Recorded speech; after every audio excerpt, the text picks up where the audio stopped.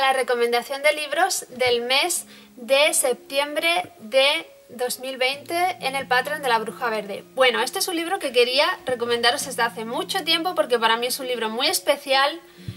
Lo he enseñado muchas veces en vídeos que tengo en muchos de mis canales, en vídeos para mi blog y mi canal El Cuaderno de Campo y para la Bruja Verde también he hecho muchas veces vídeos de recomendaciones, de recopilaciones más bien, de libros de plantas y este libro lo he enseñado muchas veces. Pero no había hecho nunca un vídeo exclusivamente con este libro y para mí es un libro muy especial. He estado teniendo dudas de si enseñároslo en uno de estos vídeos o no. ¿Por qué? Pues porque este libro está descatalogado. Yo lo compré en 2002, es muy antiguo, pero he estado pensando que para mí es un libro que me ayudó muchísimo y que aunque esté descatalogado, es verdad que yo he visto que está en Iberlibro y probablemente también puede que esté en todo colección por si lo queréis comprar de segunda mano, pero pensé, mm, ¿y si algún día van a algún mercadillo o algo así, lo tienen de segunda mano por un euro o algo de eso? Y si no lo conocen, porque no les has hablado de este libro, no van a saber que podría ser interesante tenerlo y dejarían escapar esa oportunidad. Entonces he pensado, vale, pues se lo voy a enseñar a ellos y les voy a explicar por qué fue importante para mí, por qué me parece recomendable para los que estéis interesados en la brujería verde, en todo lo que tiene que ver con la magia y las plantas, eh, los que estéis interesados en magia y, por ejemplo, vuestra zona, siempre, siempre, siempre os digo que es muy importante que conozcáis el lugar donde vivís. ¿En qué sentido? Pues tenéis que conocer todas las plantas que crecen a, vuestro alrededor. No solo las que crecen en zonas de sierra, que son preciosas y maravillosas, que también van a venir, sino vivís a lo mejor en otra zona, en una zona de campiña o en otro lugar o en la ciudad y salís a la puerta de la calle y encontráis, por ejemplo, eh, una hierba del campanario en la pared. Pues esa hierba es tan importante como una dedalera que crece en la sierra o como un estramonio que crece en la sierra. Em, tenéis que conocer todas las plantas que crecen a vuestro alrededor si realmente sois brujas verdes o si realmente estáis interesados en todo esto. Por ejemplo, la fitoterapia a lo mejor. Em, pero vamos a hablar en concreto, aunque ponga plantas curativas, de hierbas y magia, hierbas y brujería, porque este libro a mí me ayudó muchísimo.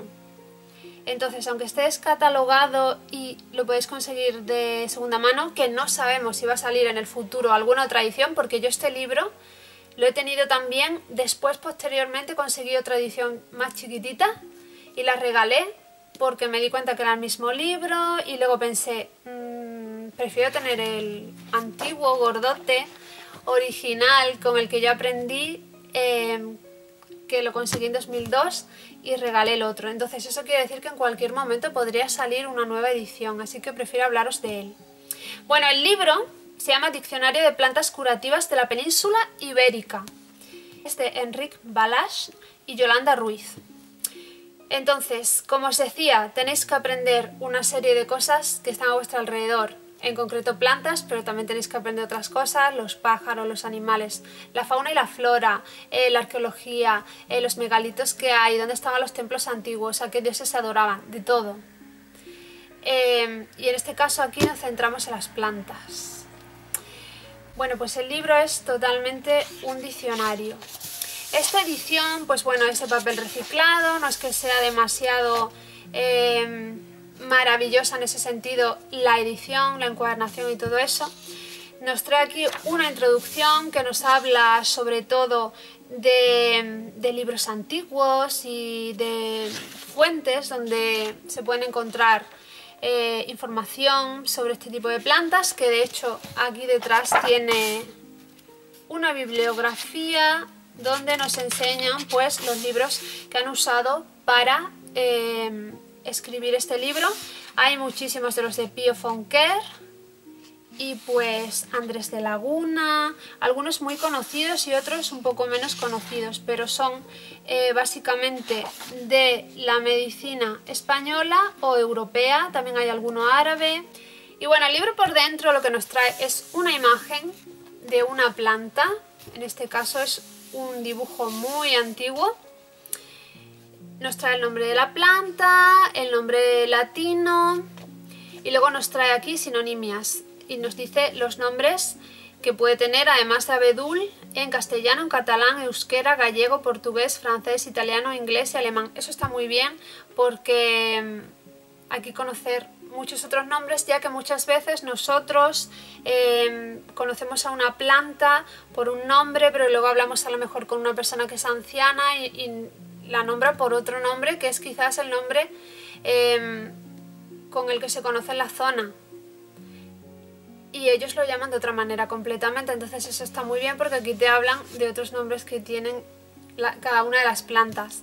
Y el nombre latino, que es con el que conocemos en todo el mundo a esta planta precisamente porque hay muchos nombres que se le dan a las distintas plantas en cada zona.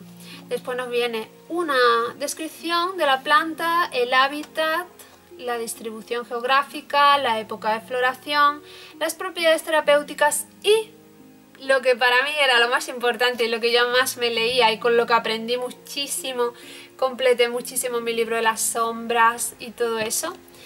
Botánica oculta. En el fragmento de Botánica oculta os habla de para qué se usaba en magia, os habla de leyendas sobre esa planta, os habla de creencias europeas, españolas y europeas sobre esa planta.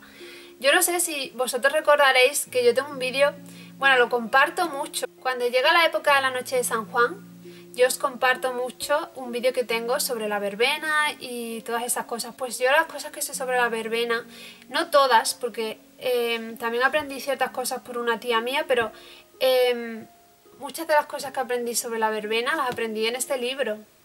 También en el Dioscórides renovado, que en mi caso lo tengo en CD, tengo el Dioscórides renovado en versión CD, fijaos, qué cosa más rara.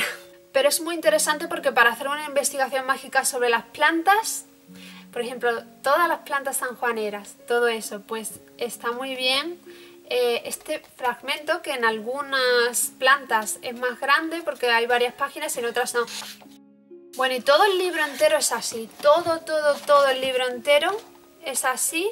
A ver, hasta aquí, hasta la bibliografía, que es lo que os enseñé antes, todo el libro es un diccionario con mogollón de plantas, que son plantas que puedes encontrar en la península ibérica, que eso es muy importante, porque claro, ahora alguien nos dice palo santo, el palo santo no viene aquí porque no es una de nuestras plantas.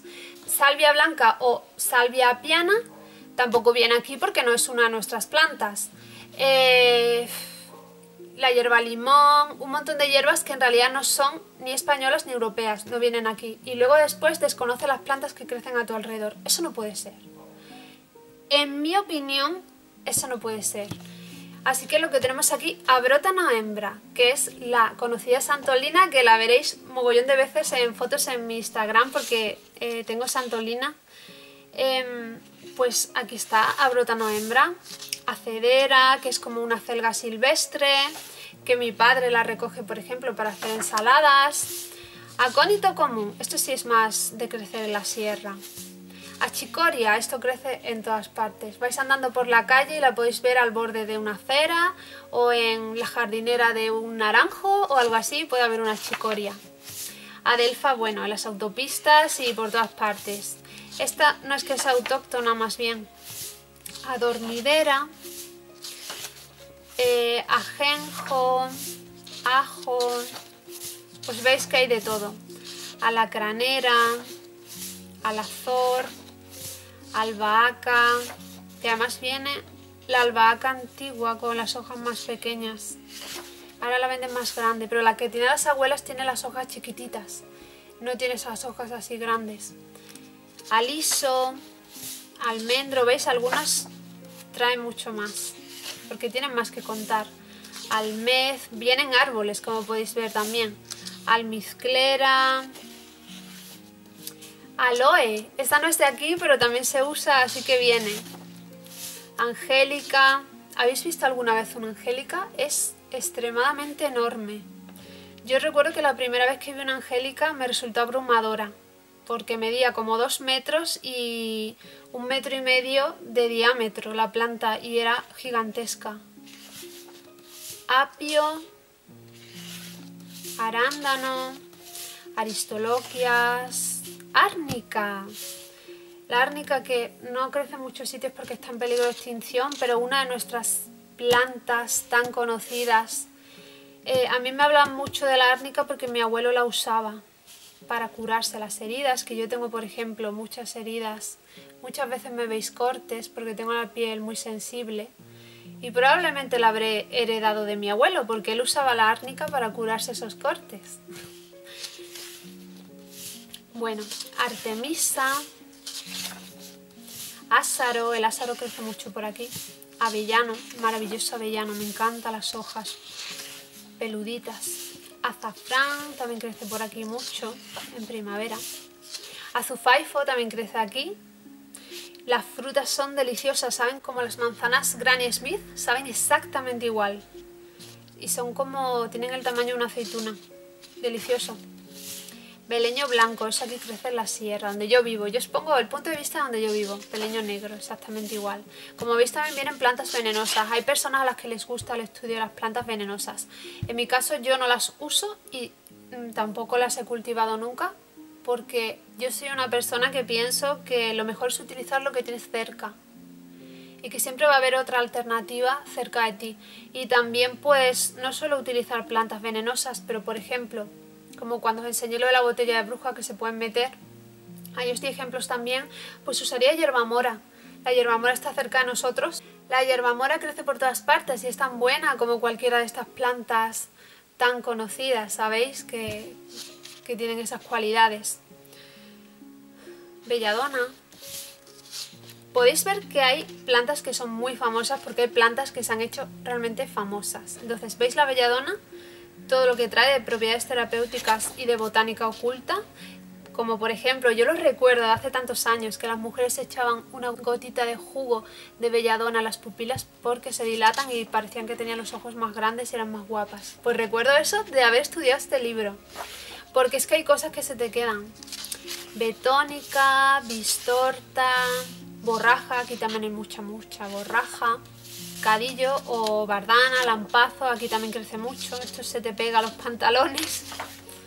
Cantueso, aquí crece muchísimo cantueso, de hecho al final de este vídeo podéis ver en la outro una foto donde sale cantueso, que es una foto que hice al borde de una carretera entre la ría de Huelva y el mar.